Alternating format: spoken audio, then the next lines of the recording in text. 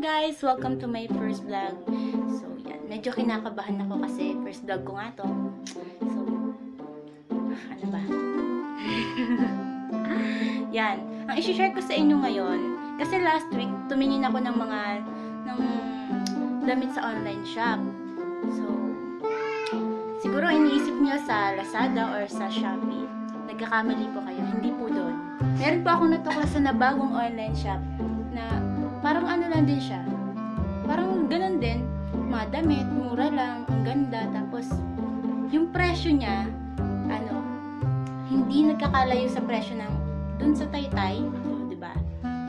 Siyempre, siyempre si Taytay, mura lang. Siyempre doon. Yun nga lang, sa Taytay, matao.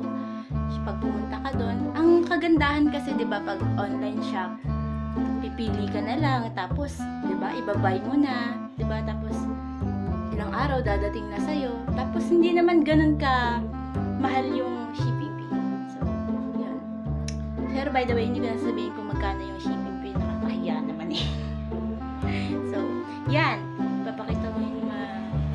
Ipapakita ko sa inyo ngayon yung mga damit na nabili ko. So, medyo may nabili ako na six na items. Ay, hindi. Including, include po tong ano, included po tong suot ko ngayon. Kasama siya. So, pwede na ba kayo? So, eto na. Eto na yung unang-unang item na ipapakita ko sa inyo. Yung, hindi ko naman siya, ano, parang nakitan lang ako. Ang ganda kasi nung, ano, yung kulay. Parang, ano, ang aliwalas tignan. Tapos, parang tipo lang siya. Pambahay, ganun. Pwede pambahay. Pwede, kung gusto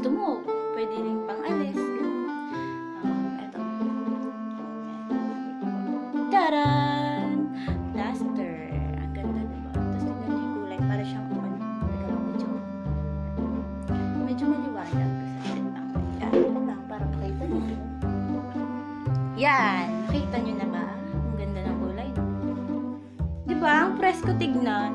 Ang ganda-ganda kaya. Tapos yung tela niya, yung ang ganda, ang lambot, mak- cotton, gano'n. Medyo mahaba. So, knee length. Ang ganda. Wala, nagandahan talaga ako eh. Yan. So, 100 pesos. 100 pesos. Tapos ang ganda ng tela. Ang ganda talaga siya. Tsaka yung kulay talaga. Hindi siya mainit sa balat.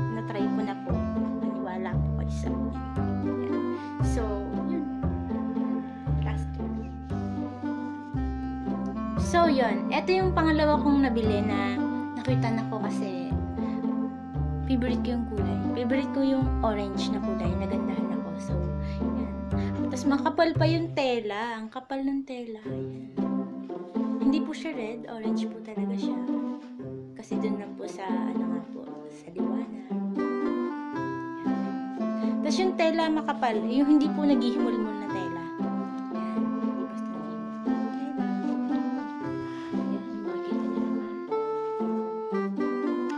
ganda, meron siyang nakalagay na love. Love. Tapos may.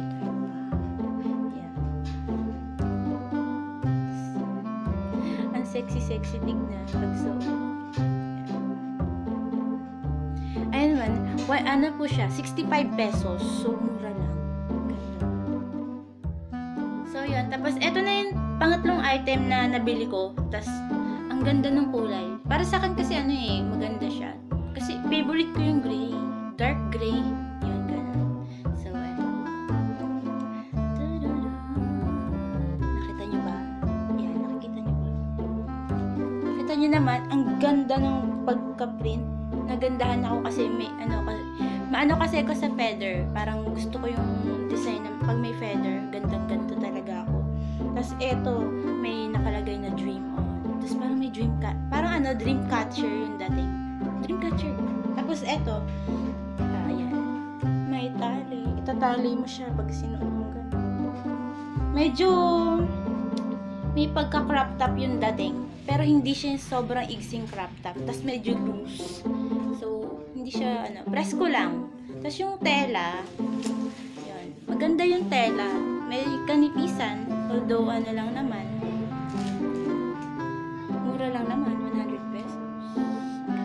Pa-partner mo siya sa jeans.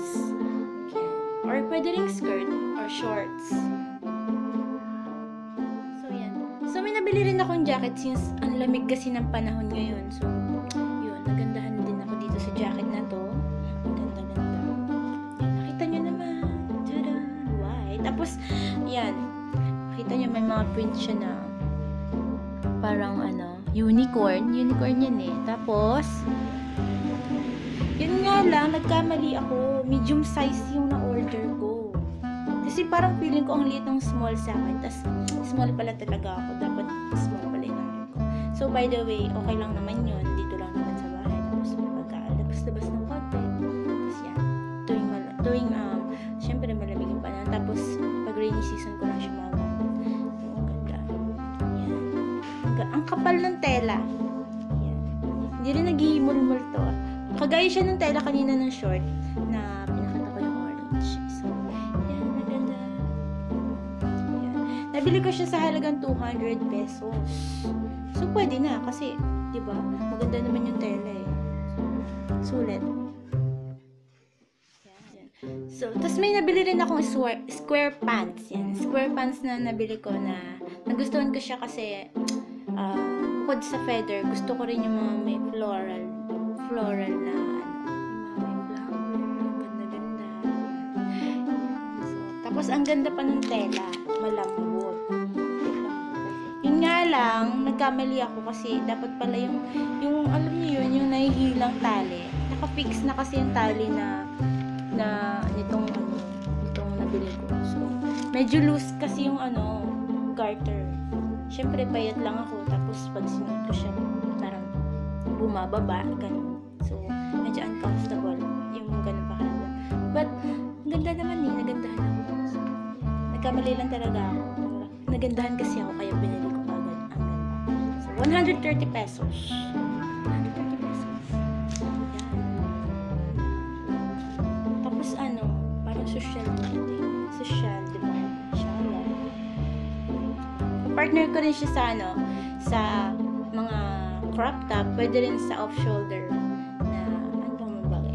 White, tsaka off-white. Just mga ganun kulay. So, kahit saan naman, di ba, kung ano natin. Ang ganda, ang ganda.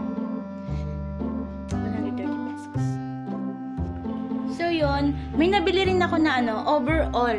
Overall siya. Yung meron na siyang top tsaka bottom, yung straight na. So, maganda naman. Ang nagandahan ako, nakita na ko actually, ang galing. Ang, parang ano, parang pwede mo siyang isuot pag, ano, pag summer, lalo na magsi-summer na, malapit na. So, yan.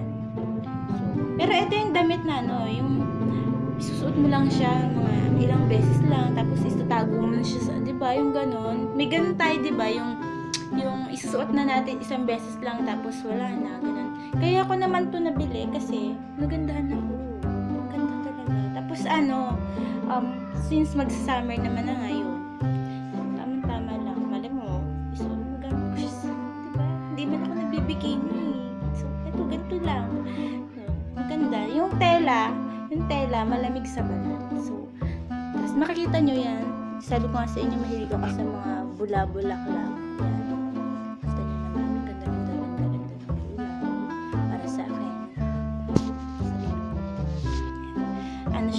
Ko siya ng 150 pesos. 150 pesos. So, pwede na diba? So, hindi.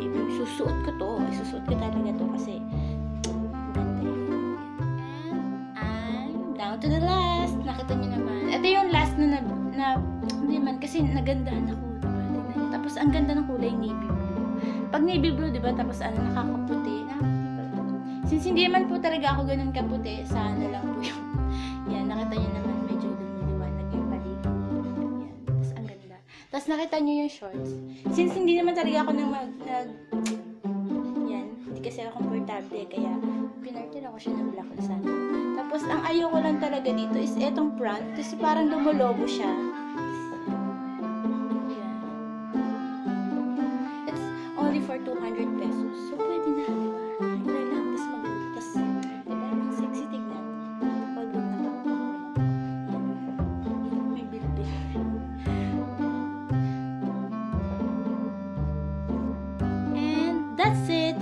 Guys. I hope you guys enjoyed this video. And yan, nalulungkot ako kasi magpapaalam na ako. Dito muna. So, no, malay nyo, masundan after, di ba? sana na-enjoy kayo. Tapos i-subscribe. Mag-subscribe na rin po kayo sa video na to. Tapos, um, ano nyo, di ba? Dire-diretso na. Maraming maraming salamat po. And, mga po pala, yung pangalan po ng online shop na yun, nabilang ko naman pinakita ko sa inyo is Solteras. As in S-O-L-T-E-R-A-Z Solteras Online Shop. Meron po silang Facebook page. So, pwede nyo pong i-visit. Tapos, mala nyo, may magustuhan kayo doon, di ba? Tapos, yung mga nakita ko sa inyo, may mga nagustuhan pala kayo, di ba? Tapos, pwede nyo orderin doon. So, maraming maraming salamat po. And by the way, ako nga po pala si